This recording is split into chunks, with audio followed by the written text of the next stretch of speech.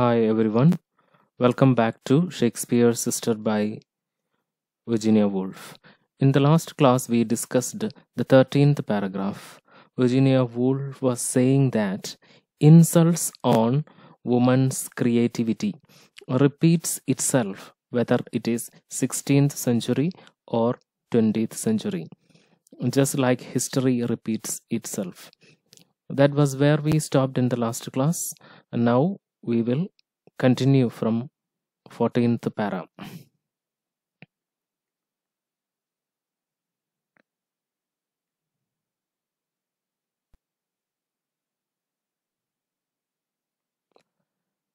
See, even in 19th century, a woman was not encouraged to be an artist. Instead, she was ignored, beaten, and lectured, advised.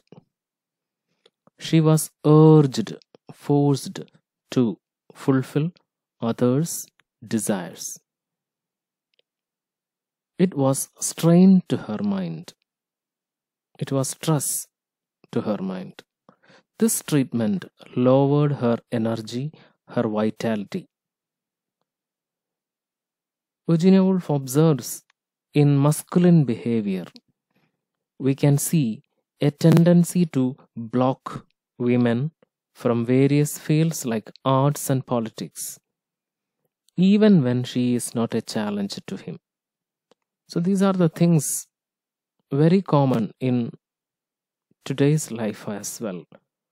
Men trying to block women from various fields, saying that they are weak.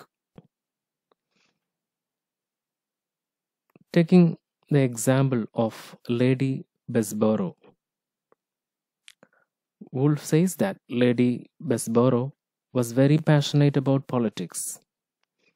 Even she once wrote like this I perfectly agree with you that no woman has any business to meddle.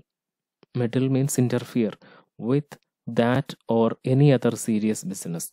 She meant that women had no role in it is not women's role to interfere in serious business. The full quotation is given here. You can read. Woolf observes that the history of man's opposition to women's freedom is as interesting as the history of freedom itself. By this, she also means that the history of man's opposition to women's freedom is as old as the history of freedom itself. It started from the very beginning.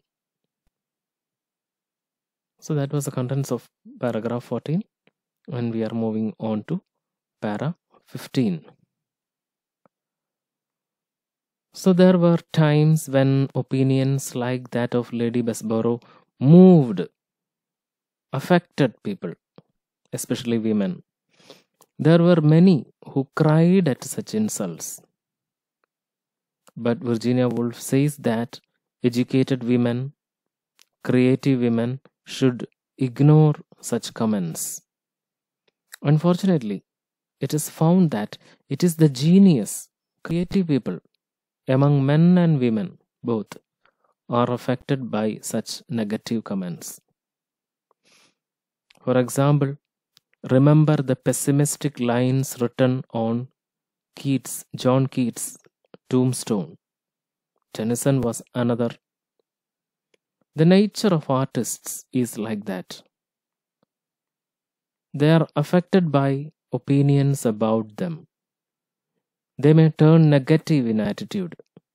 History of literature is full of stories of such people who minded the opinion of people unnecessarily.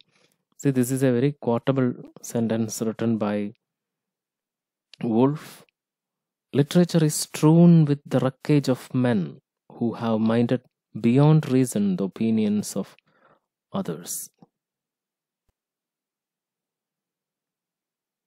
you can see here the tombstone of John Keats. The line, Here lies one whose name was writ in water, was written by Keats himself. The phrase right in water means gone unnoticed, useless, etc. This shows the pessimism of a creative artist like Keats, who was very much affected by insignificant things, by opinion of others.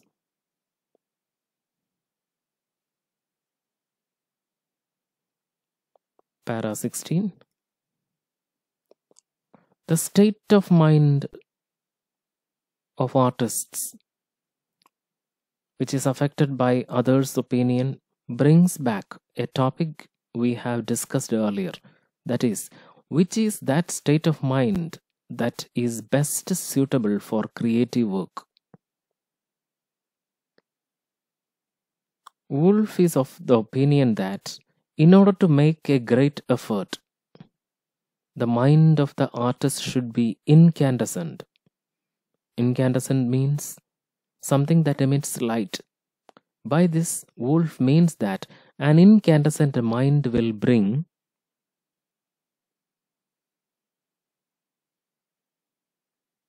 creativity out of the artist's mind. Nothing will remain unexpressed. It is like emitting light. When Woolf reads Antony and Cleopatra, she feels that Shakespeare's mind was incandescent. There is no obstacle to his her creativity. Nothing remains unconsumed in his mind. See, incandescent mind, a symbol of creative mind, according to Virginia Woolf. And the last para, paragraph 17. Compared with writers like John Donne, Ben Jonson, or Milton, we know very little about Shakespeare's personal life. His emotions like anger, hatred, etc., are hidden from us. Woolf assumes that all such emotions of Shakespeare are consumed in his creative process. Poetry flows out of his mind without any obstruction. Woolf says that if ever an artist expressed his mind completely, it was Shakespeare. So that is how the discussion is concluded. And some concluding remarks about it. With this, we have come to an end of Shakespeare's Sister by Virginia Woolf. The paragraph summaries given in this video series can be used to comprehend the chapter. When you study, focus more attention on para 7, which tells about the story of Judith Shakespeare. Why, in Woolf's view, did Elizabethan women not write poetry is another important question that can be expected from this chapter. The ideal state of mind of a creative writer discussed in para 16 and 17 are also important. So, thank you